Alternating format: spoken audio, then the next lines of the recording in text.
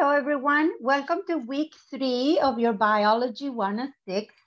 Uh, this week, we're going to be learning about speciation and diversity and how important biodiversity is for the health of our organisms in any of our ecological community. There's about one to two million species already discovered, and they're constantly changing to the point that if they change a lot, they can become a new species, like we mentioned last week. So the learning objectives for this week are the uh, definition of biodiversity, um, what happens when biodiversity changes over time, and then you're going to have a quiz on biogeography from the readings from your CMU text.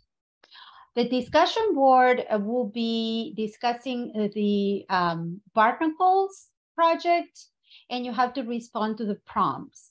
Remember, uh, discussion board is due on Thursday at 3 a.m. And don't forget to respond to two of your classmates by the following Monday at 3 a.m. That is it for week three and keep going. You're doing a great job. Bye.